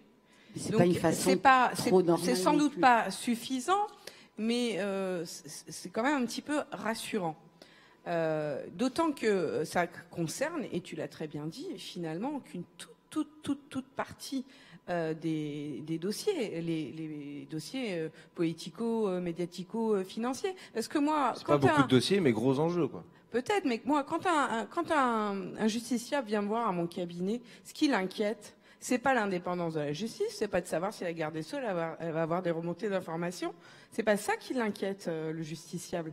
Donc euh, moi, je trouve aussi que euh, c'est des sujets qu'il faut traiter. Il, faut trouver des modes de contrôle parce que c'est le fonctionnement de l'état de droit qui est mis en cause, l'impartialité du juge, son indépendance évidemment, mais euh, pour le commun des mortels euh, que euh, les Paul Bismuth ait ouvert une ligne à ce nom-là, ils s'en contrefichent. Ouais, je, je, je, me, me reposer sur une des questions. J'essaie de mixer dans mes questions vos différentes questions pour que vous puissiez vous y retrouver dans les réponses. Hein. on, me dit comment peut-on accepter les commentaires choquants des juges tels que rapportés dans la rubrique du canard? C'est vrai que des fois les magistrats à l'audience, ils, bon, Mm, mm. C'est pas complètement dans le cadre déontologique. Quoi. Bon, il euh, y, a un organe qui s'appelle, ça me permet juste de parler du Conseil supérieur de la magistrature en fait. Hein, C'était un, une astuce, euh, parce que c'est pas que le, ce sujet-là. Euh, il y a le Conseil supérieur de la magistrature qui, est, qui, est, qui a des prérogatives en matière disciplinaire pour le, pour le siège uniquement, et pas pour le parquet. Euh, est-ce que c'est la bonne instance pour euh, est-ce qu'elle fonctionne suffisamment bien? Est-ce qu'elle a suffisamment de pouvoir? On a vu par exemple que sur les fadettes, euh, l'histoire des fadettes pour les magistrats euh, dans, la, cadre de l'enquête du parquet national financier Paul Bismuth. Euh, finalement, c'est Nicole Belloubet qui lance une inspection de l'inspection générale de la justice. Ce C'est pas le CSM qui se saisit du sujet. Il n'a pas de pouvoir d'autosaisine. Il peut pas. Ben, je sais bien qu'il peut pas. Moi, je le comprends, mais c'est faux, faut, le dire là. Ben, on le dit, il faut changer ça. Est-ce qu'on peut faire passer une radiographie un peu du Conseil supérieur de la magistrature, ce qu'il fait pas et ce qu'il pourrait faire demain, apportant davantage de garanties d'indépendance euh, pour le magistrat, pour le justiciable, pour, le, pour, pour la justice en elle-même? Oui, alors ça, dépend de quoi on parle, parce que c'est vrai que du coup là il y a, beaucoup de choses, mais pour euh, parler précisément de la question qui portait sur les propos des magistrats en audience qui sont rapportés dans le cadre enchaîné et qui sont, enfin souvent ils sont choisis pour ça aussi, mais globalement bah, odieux et, tout ce la perche. et inadapté. Non mais c'est tout à fait, enfin je suis tout à fait d'accord avec euh, la question qui a été posée. Euh, pour le coup, il existe depuis quelques années une section, parce qu'auparavant, le Conseil supérieur de la magistrature, dans sa version euh, disciplinaire, donc qui peut sanctionner les magistrats, ne pouvait être saisie que par le garde des Sceaux. Et désormais, elle peut être aussi saisie par les citoyens, les justiciables qui auraient eu à connaître d'un comportement qu'ils qualifieraient d'inadapté d'un magistrat pendant une audience ou euh, une audition ou quoi ou qu'est-ce, en tout cas euh, par un magistrat dans l'exercice de ses fonctions, évidemment. Sauf que la difficulté, c'est que ces plaintes qui arrivent euh, dans une commission, enfin une partie, si vous voulez, du Conseil supérieur de la magistrature, sont examinées. Et ensuite, la, commission en question n'a aucun pouvoir d'enquête pour aller quand même, notamment voir les notes d'audience qui auraient été prises par le greffier, qui était présent à l'audience, s'il était présent, enfin aux audiences, il y a toujours des, greffiers. Oui, oui, voilà. on, voit, l'importance du, ce greffier disait tout à l'heure, concrètement. Mais notamment consulter les notes d'audience qui mentionneront, euh, bah, en général, enfin, ils notent pas forcément tout euh, au mot par mot, mais euh, des propos qui seraient, enfin, contraires au principe déontologique, mais je dirais tout simplement racistes, homophobes, etc. et là, ça permettrait quand même d'avoir une idée plus claire pour savoir si on renvoie cette, plainte devant le Conseil supérieur de la magistrature ou pas. Or, la réforme est un peu inaboutie parce que cette commission n'a aucun pouvoir d'investigation. Donc, globalement, euh, en lisant la plainte du justiciable, il y, a très peu de ces plaintes qui aboutissent à euh, une saisine du Conseil supérieur de la magistrature. J'ai plus précisément les chiffres en tête, mais je crois que ça se compte sur les doigts d'une main. Et encore moins qui donne lieu à une sanction, parce qu'effectivement, c'est pas parce que le Conseil supérieur de la magistrature est saisi que euh, derrière, il décide que le magistrat a commis une faute euh, non plus. Donc là, effectivement, il y a, euh, un, obstacle et il faut, changer et donner des pouvoirs à cette commission, des pouvoirs d'investigation à cette commission du Conseil supérieur de la magistrature. J'ai entendu dire que dans un rapport qui n'est pas encore paru,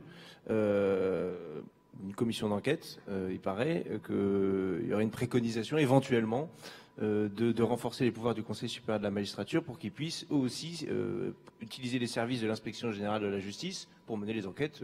oui, alors nous on demande même plus précisément à ce que l'inspection générale de la justice dans son ensemble soit rattachée au Conseil supérieur de la magistrature et, pas, au, et pas au garde des Sceaux. Mais elle pourrait quand même être saisie par le garde des Sceaux en étant rattaché au Conseil supérieur de la magistrature. Il faut qu'il puisse garder quelques prérogatives, ce pour garder ça, non?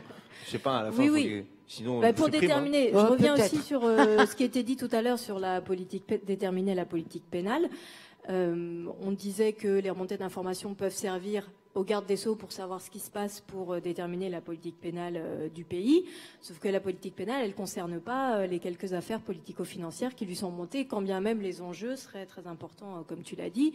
La politique pénale, c'est le tout venant, c'est les conduites sans permis, c'est les conduites sous alcool, l'usage de stupes, les trafics de stupes. Mmh. C'est ça la politique pénale. C'est pas les quelques politiques qui, ou grands financiers qui vont se faire poursuivre et qui qui font l'objet d'enquêtes euh, qui durent des années.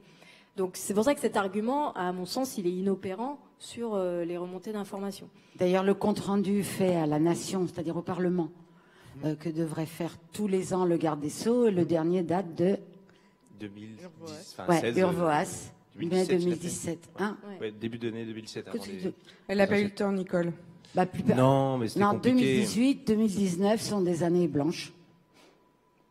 Après, effectivement, le Conseil supérieur de la, magistrature avait tout lieu d'être, euh, enfin, de, de dire quelque chose sur, euh, sur l'affaire euh, des fadettes que, que tu as évoquée. Mais effectivement, comme c'est pas ce conseil qui a été saisi, mais l'inspection générale de la justice de façon inadaptée et hors des clous, euh, on ne saura pas ce qu'il en pense. Question concrète. Imaginons, imaginons euh, un magistrat sur le siège du parquet se rend compte qu'un de ses collègues, euh, bon, n'est pas tellement indépendant, que ce soit dans ses enquêtes ou à l'audience, peu importe, et, que parce qu'il est en contact avec, je sais pas moi, un élu local du coin et qu'on a su que dans une affaire de marché public, finalement, bon, bah, ils se sont arrangés pour qu'il y ait une relaxe un classement sans suite, etc. Ce magistrat, qu'est-ce qu'il a comme moyen à sa disposition vis-à-vis de son collègue Mais il va le voir d'abord, non Je sais pas comment ça se Sinon, passe. t'es une balance après. Il y a un truc qui s'appelle l'article 40 du Code de procédure pénale, je crois. Et donc on le transmet à la justice c'est une vraie question. On hein, je peut, veux dire, euh, non, on peut. Après, euh, on- c'est vrai que les magistrats n'ont pas la voix que j'ai évoquée, la voix VOIE, que j'ai évoquée tout à l'heure pour les citoyens de saisir le Conseil supérieur de, la magistrat- de la magistrature, et c'est aussi une, une difficulté ou en tout cas un vide euh, qui existe. Après, c'est, enfin, je veux quand même dire que c'est des situations. euh, Il faut pas tout ça, quoi. Bah, Non, mais heureusement, voir, enfin, je- euh, bon, c'est. je- Bah, quand- en, en tout cas, vous pouvez consulter euh, sur le mal. site du CSM les avis euh, disciplinaires qu'il rend, puisqu'ils sont, oui, ils les sont- décisions. C'est ils public sont en ligne. Oui. Et euh, vous verrez Les que c'est pas ce genre de, hein. Oui, voilà, de c'est- comportements qui sont sanctionnés généralement. C'est plus, euh, moi, ce qui me fait rire, c'est les vols dans les bureaux. Oui, mais ça, ça n'arrive pas à ce niveau de, de sophistication de, du conflit d'intérêts. Bon, après, Non, les Mais euh, est-ce que c'est parce que ça remonte pas ou est-ce que c'est parce que euh, Ça ne se sait a- pas. ça n'existe pas, En tout cas, on pas. peut pas, un magistrat ne peut pas saisir lui-même le Conseil supérieur de la magistrature pour une problématique dans sa juridiction. non Non, mais il prend un avocat qui sait, qui et il saisit le CSM via. Mais euh, quand je disais l'article 40, ça concerne les infractions. Bien sûr. Et c'est tout fonctionnaire. Mais il y a une différence entre le, la faute déontologique et l'infraction pénale. Mm. On est bien d'accord.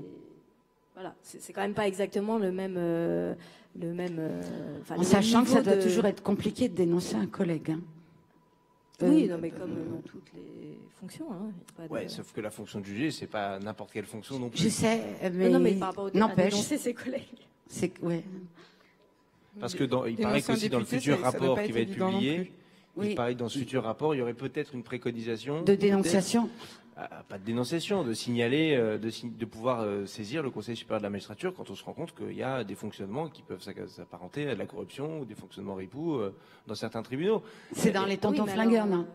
Non, Je non, balance là, pas, je, j'évoque. je- je me, je me repose sur l'audition que j'invite à voir de Jean-Michel Ayat, qui lui-même explique être allé en mission dans une juridiction du sud de la France, parce qu'il y avait eu des remontées euh, d'informations, cette fois-ci euh, non officielles, euh, qu'il y avait des problématiques avec des magistrats. Ah bah et ce qui a, c'est- qui a abouti à la mise en examen et à la condamnation du doyen des juges d'instruction de Mm. l'époque, sur place. Donc c'est pas...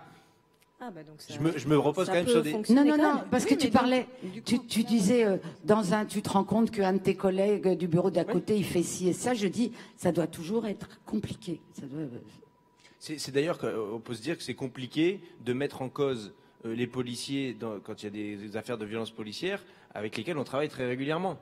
D'ailleurs, il se couvre. hein. Bah oui. Euh, Combien ont été condamnés récemment, là, hein, euh, c'était dans la presse d'ailleurs, euh, pour euh, des, PV euh, qui, qui, s'avèrent être des faux. Euh, donc, euh, euh, le, problème de, dénoncer un, collègue, quel que soit le métier qu'on a embrassé, euh, c'est toujours extrêmement compliqué. Mais là, s'agissant, il il faut pas confondre euh, ce qui relève de l'infraction pénale et qui est poursuivi euh, qu'elle soit commise par un magistrat, un avocat, un journaliste ou le boulanger d'en face, et euh, ce qui ressort euh, de la discipline d'une profession. Les, les règles déontologiques des magistrats euh, euh, sont, font l'objet d'un code de déontologie, et c'est ça que sanctionne le Conseil su- supérieur de la magistrature. Et donc, euh, euh, c'est évident qu'une infraction pénale constitue aussi une, euh, un manquement à, à- à la déontologie. à la déontologie.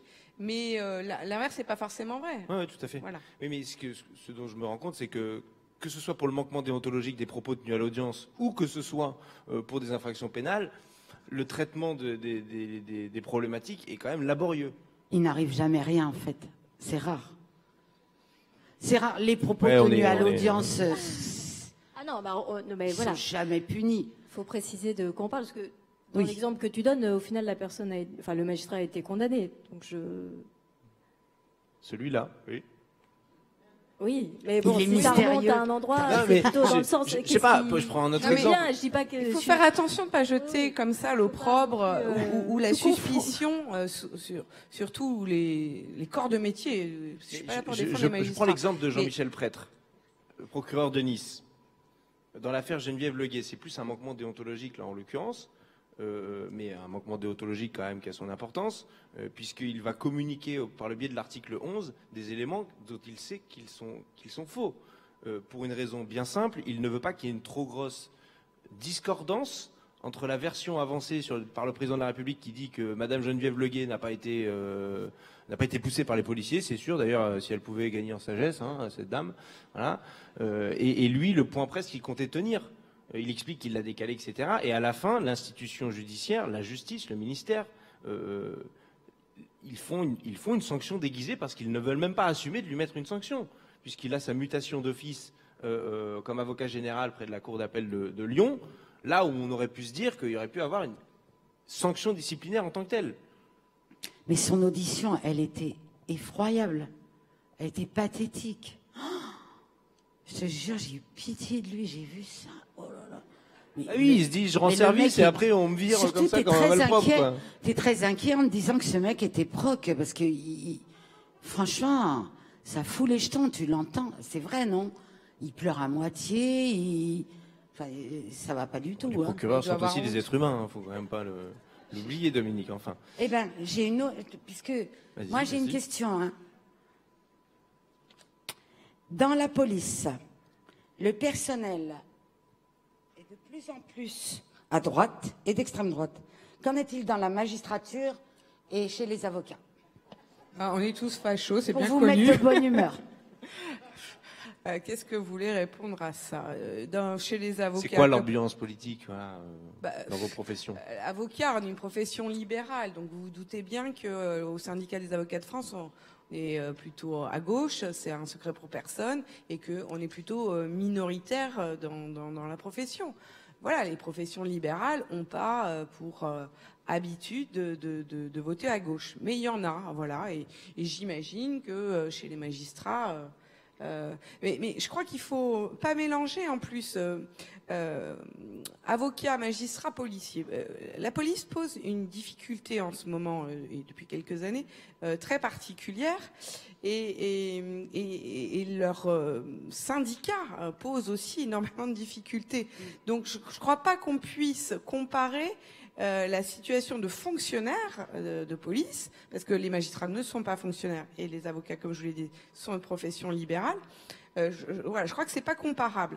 Et, euh, et je crois pas qu'il faille faire des généralités de toute façon, même au sein de la police, même si évidemment les syndicats majoritaires de policiers qu'on entend beaucoup à la télé ou sur les réseaux sociaux, bah, c'est pas c'est pas les plus équilibrés, on va dire. Ça, Pour c'est les- sûr. Ouais, C'est entendu.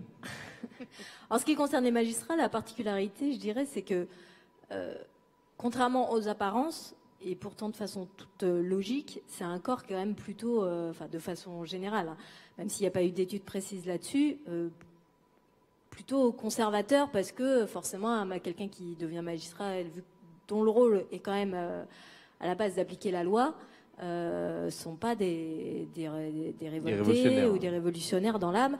Donc c'est vrai que sur l'ensemble, euh, il est probable que euh, le corps soit plutôt conservateur. Alors on peut dire à droite euh, si, si la, la réponse doit être est à choix multiples.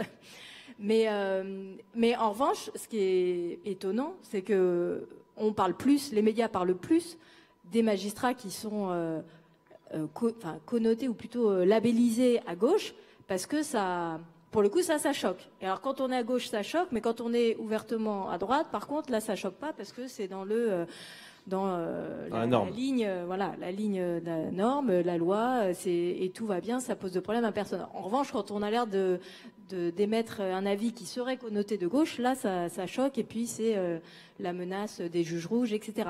Mais cette, euh, ce prisme médiatique est finalement euh, très probablement, parce que je n'ai pas la, la preuve scientifique de ce que j'ai- j'avance, euh, est très peu- probablement fausse euh, statistiquement, parce que euh, la majorité des magistrats, effectivement, sont plutôt sont Mais pas. si, euh, si on parle la beaucoup des juges de gauche, c'est grâce à ton syndicat, parce que, sans flatterie, euh, c'est quand même le seul qui réfléchisse réellement, euh, qui se projette dans l'avenir et qui a une réflexion véritable sur ce que, ce que devrait être la justice, sur, sur énormément de sujets. Il n'y a que vous, euh, Oui, au bah- niveau des magistrats, et le SAF pour les avocats. Mais c'est vrai que on parle beaucoup. Alors, que ça fasse des articles dans certains journaux pour dire les juges rouges ont encore frappé parce qu'ils disent ci ou ça, n'empêche que c'est parce que vous avez réussi à vous imposer dans, dans, le, dans le paysage en tant que, que penseur du droit et de la justice. C'est vrai. Oui, ben, c'est totalement assumé par le syndicat de la magistrature parce qu'on considère que l'acte du jugé euh, s'inscrit dans un contexte politique, que la loi n'est pas neutre, qu'elle est le résultat de rapports de forces sociaux, et donc euh, que on ne peut pas se dire, euh, en tant que syndicat en tout cas, apolitique. Et, le point commun entre nos deux organisations qui sont sœurs, euh, c'est que nous ne sommes pas des syndicats corporatistes. C'est-à-dire que évidemment que que ce soit le SM ou le SAF, on est là pour veiller euh, aux, intérêts euh, de nos professions respectives, mais pas uniquement et peut-être même accessoirement. Euh, ce qui nous importe, que ce soit au SM ou, au SAF, c'est le justiciable, la justice, la démocratie, la- l'application de, l'état de droit. Et, donc c'est pour ça qu'on est souvent en accord, voire quasiment jamais en désaccord, même si ça arrive de temps en temps, et que on, on- on a euh, voilà cette, euh, on est estampillé euh, gauchiste, mais euh, moi ça me dérange pas. Je, je crois que le SM non plus. Bien, j'ai une question là qui, qui vient de. On se fait applaudir quand on dit gauchiste, c'est ça? Ouais. Gauchiste. bravo. Moi, je vous rappelle que je m'occupe des questions de sécurité et de justice avec la, à la France Insoumise, donc je suis évidemment l'aile droite du mouvement, hein, comme chacun sait. Euh, la démonstration aurait été faite. Euh, une question, et parce que ça fait partie de celle qu'on avait pressentie euh, à l'avance, sur le rôle, la place que pourrait avoir le citoyen ou la société civile dans l'action de justice. Bon, aujourd'hui, le citoyen, là où il est le plus, le, je vais pas dire le mieux représenté, mais où il est vraiment présent dans l'action de justice, c'est les cours d'assises. Mhm. Puisqu'il y a les jurés, tirés au sort, etc. Et, ça a été construit comme étant le parangon de justice, en disant, comme la justice est rendue au nom du peuple français, pour les crimes les plus graves, les plus importants, eh ben, on va faire en sorte qu'il y ait un extrait du peuple français qui soit d'ailleurs présent, euh, que sont les- les- les jurés, euh, pour, pour rendre la décision de, de- de justice. Mais à part ça, euh, on a l'impression que le citoyen, sinon, euh, bon... euh, Oh, bah si, quand même. Euh, tribunal pour enfants, il y a les assesseurs de la société civile. L'ancien TAS, qui maintenant s'appelle le pôle social du tribunal judiciaire. Pareil, on a des, des personnalités de la société civile. c'est bien ça, ça marche? Mais on Ben, sait ça pas. dépend de la personnalité du magistrat finalement, parce que c'est soit comme dans le bâtiment un qui travaille et deux qui regarde, et donc en- soit, soit Bravo, je le crois que c'était les critiques magistrat. sur le bâtiment, parce que tout le monde bosse a priori. hein. Non, c'est une blague, vous l'avez- vous l'aurez compris. Euh, donc, soit euh, le, le magistrat professionnel allie vraiment à cette décision euh, les, assesseurs de la société civile, et dans ce cas-là, et c'est comme ça que ça a été pensé, euh, c'est euh, une- merveille de fonctionnement, soit malheureusement le magistrat, euh, pour des raisons diverses et variées, et parfois parce qu'il manque de temps et qu'il faut aller vite, euh, voilà, il, il leur dit bah voilà vous êtes là, vous regardez et puis c'est tout. Et il les associe pas forcément euh, ni à cette décision, euh, il ne fait pas œuvre non plus de pédagogie et ça c'est dommage. Mais euh, des, personnes de la société civile dans les palais de justice, dans la justice, il en existe parce que alors c'est un petit peu différent parce que ce ne sont pas des assesseurs, mais les conseillers prud'homaux, ce sont des juges non professionnels élus euh, qui connaissent très bien le fonctionnement de l'entreprise, soit parce qu'ils sont conseillers prud'hommes employeurs, soit parce qu'ils sont conseillers prud'hommes euh, salariés. Mais il y a beaucoup de juridictions comme ça où la société civile est présente. Le, problème, c'est que on, fait un pas en arrière, voire deux pas en arrière, voire trois pas en arrière euh, sur les cours d'assises avec l'expérimentation des cours criminels. Et euh, comme on est euh, dans une époque où on considère qu'il faut que la justice aille plus vite, qu'il y ait plus d'audience, parce que quand il n'y a pas d'audience, bah, ça va encore plus vite, et euh, que voilà, on, risque de faire disparaître ces personnalités de la société civile, comme on est en train de faire disparaître la collégialité, c'est ce que vous expliquez euh, très, très, bien Sophie, alors que ce sont un, le, le, gage de, du... La collégialité, c'est le gage de, de bah, en tout cas de l'impartialité euh, du juge, parce que on vous l'a dit, réfléchir à plusieurs, c'est plus facile. Et puis, quand on fait des conneries tout seul, il n'y a personne pour nous monter les bretelles. Mais quand on fait des conneries et qu'il y en a deux autres à côté qui vous regardent, on est tenté de faire un peu plus attention. Ça sert à ça aussi, la collégialité. Et euh, l'autre euh, chose qui est extrêmement importante, au-delà de la présence de la société civile dans les juridictions, euh, en, tant qu'assesseur, c'est la publicité des débats. Et ce qu'on a vu pendant l'épisode de crise sanitaire avec la fermeture des tribunaux et l'interdiction au public de, venir voir ce qui se passait aux audiences ou leurs lim limitations, euh, c'est que la, justice n'est plus rendue publiquement. Et euh, c'est euh, vraiment un gage, cette publicité des débats, du comportement correct du magistrat à l'audience. On parlait de la condescendance ou de propos parfois limites, voire racistes ou discriminatoires à l'audience par, par le président.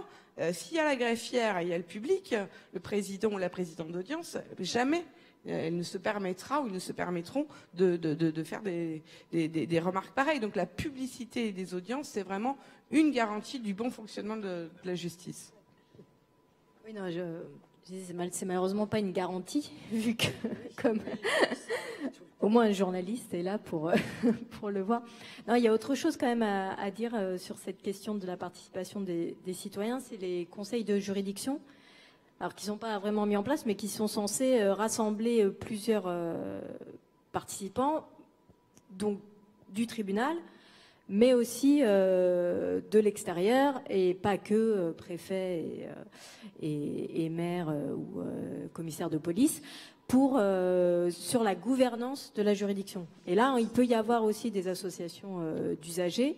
après, je pense qu'il n'y en, en, a pas tant que ça, mais qui peuvent participer aussi à. Alors, c'est à, la gouvernance de la juridiction, à l'organisation de la juridiction. Euh, je ne sais pas si ça recouvre euh, ce que tu faisais dans l'action.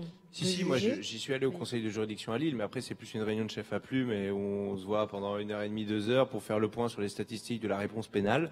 Euh, donc c'est très, très bien, on, a, on va en faire benchmark, hein, euh, donc on va challenger la, la, la juridiction. Donc euh, on, on, est loin effectivement d'avoir de, des discussions démocratiques, politiques, euh, d'enjeux, de, de, politique pénale de, locale, de ce que fait le procureur, de ce que, comment s'organise la juridiction, etc. Mais ça pourrait être ça, effectivement. En tout cas, il y a une structure aujourd'hui qui, qui, existe.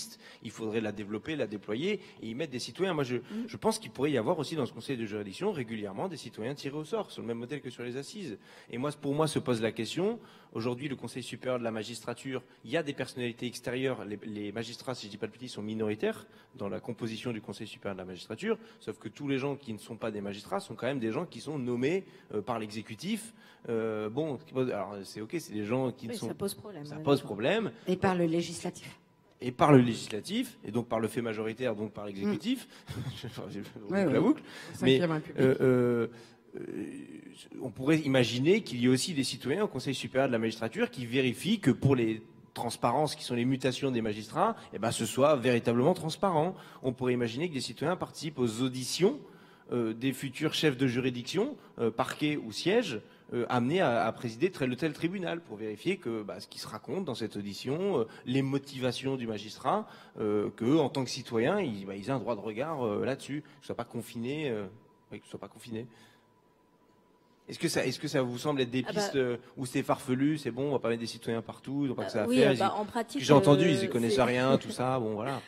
C'est même pas qu'ils y connaissent rien, c'est juste que déjà, euh, vous, enfin, j'ai oublié de le dire, je vous invite aussi, comme euh, Hugo vous invitez à aller voir des comparaisons immédiates, à aller voir des procès d'assises, parce que c'est aussi euh, quand même le, top de ce qu'on peut voir, je pense, dans la justice quand même. Mais euh, autant des, des, des, procès, enfin des sessions d'assises, comme on dit, c'est trois semaines, et il y a quand même un certain nombre de jurés tirés au sort pour qui c'est compliqué de se rendre disponible pendant trois semaines. Pas que parce que nous sommes tous indispensables là où nous sommes, mais des fois c'est quand même il y a des gens qui ont des vraies contraintes. Donc déjà, c'est compliqué de pouvoir trouver des personnes, des citoyens, pour venir participer au, cours d'assises. Euh, alors, faire partie du Conseil supérieur de la magistrature sur une durée euh, même courte, ça me paraît un peu... Euh, j'ai du mal à l'imaginer concrètement. En revanche, modifier la façon dont sont nommées les personnalités qui ne sont pas magistrats euh, pour faire barrage à la primauté du pouvoir exécutif dans cette nomination, là, euh, on est tout à fait d'accord. Peut-être que si on passait aux 32 heures semaine, par exemple, on pourrait plus euh, s'occuper d'être à la fois de la justice pour ceux qui veulent faire justice, la sécurité, le service public. Enfin, c'est une piste hein, après, hein, mais bon, ça dépend pas du ministère de la Justice. C'est facile. Il y a aussi une crèche, une crèche au Conseil supérieur de la magistrature pour garder les enfants aussi, et, puis des animateurs pour parce que 32 heures semaine, certes, évidemment, euh, je suis tout à fait d'accord, mais c'est pas juste le travail qui monopolise les gens dans la vie. Non, non, bien sûr, bien sûr, bien sûr. Mais en tout cas, ça pourrait être un élément. Euh, la crèche, ça fait partie. On avait mené une bataille à l'Assemblée nationale pour que, le rajeunissement des, députés, euh, et puis aussi pour les collaborateurs des députés, parce qu'on les oublie tout le temps, hein, mais euh, ils sont aussi beaucoup, souvent plus jeunes. Ah bah, ils travaillent énormément. On a appris. Hein. Bah oui, c'est pour que les députés puissent ne rien faire. Donc, donc, donc, voilà. Mais Pas tous. je, pose une dernière question parce qu'en plus, on doit terriblement aller très vite pour la, ben la non, conclusion. on s'en va pas.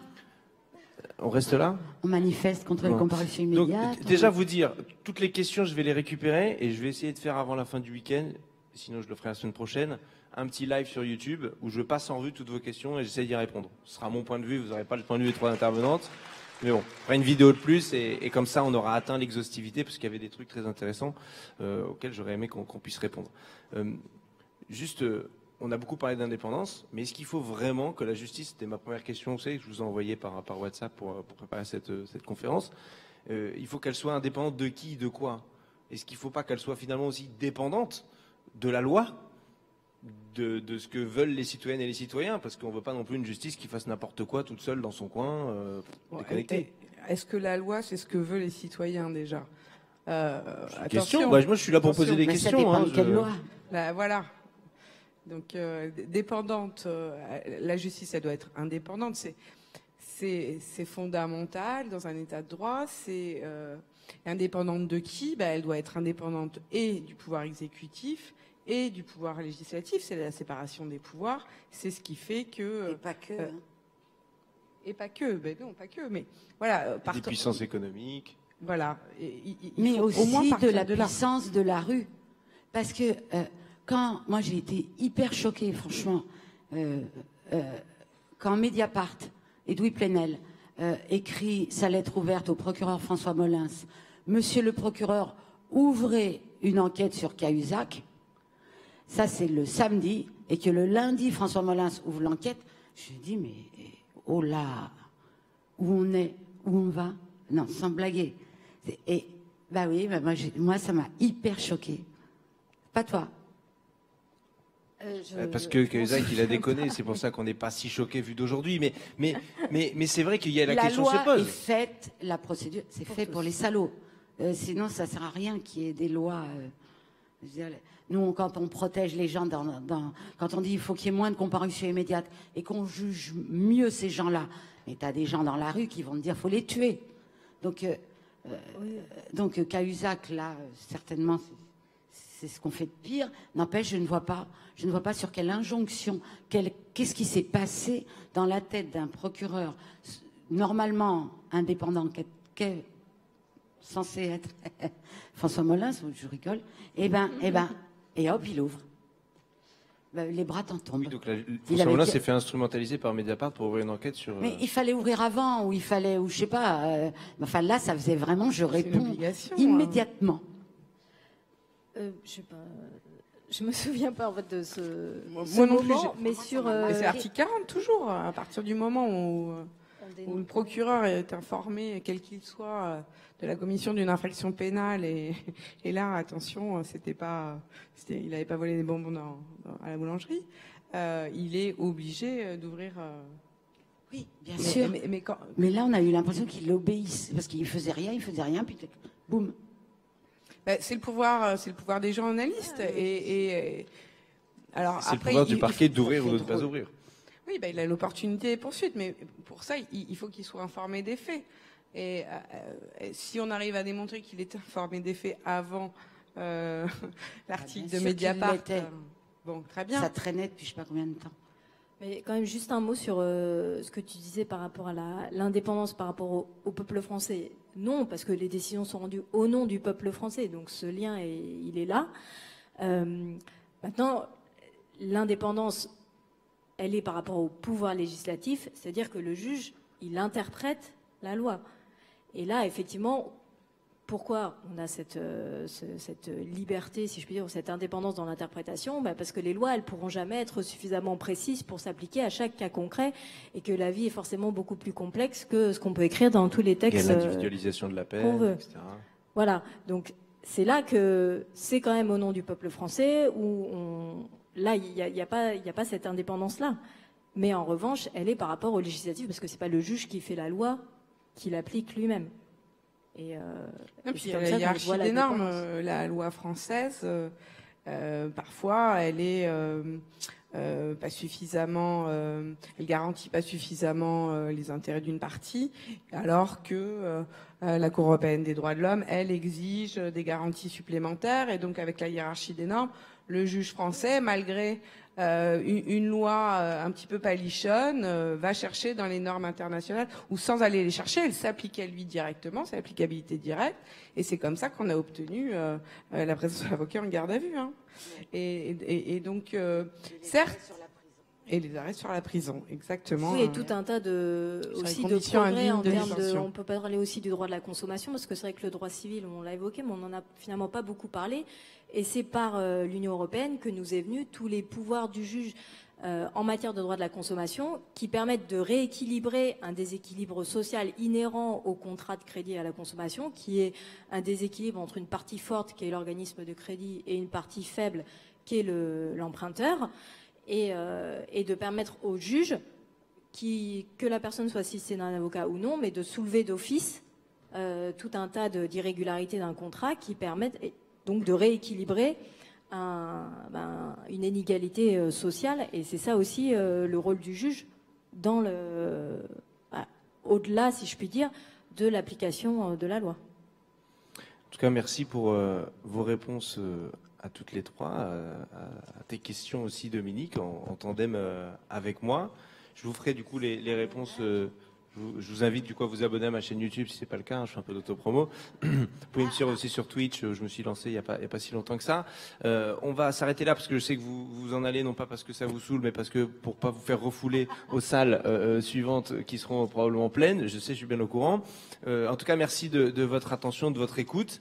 Je vous invite à suivre les travaux de la commission d'enquête qui rendra son rapport, qui sera rendu public le 7 septembre, où il sera euh, question euh, de tous ces sujets, euh, sujets pas du tout épuisés, euh, loin s'en faut, et on sera amené à, rediscuter ensemble, à se revoir euh, dans, dans différents cadres. En tout cas, merci encore euh, à toutes et à tous, et bonne continuation aux amphis.